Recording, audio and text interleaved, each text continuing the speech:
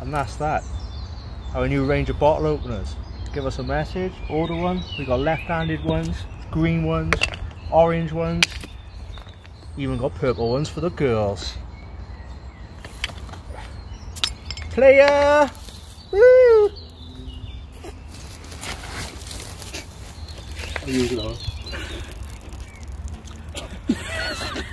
Ha.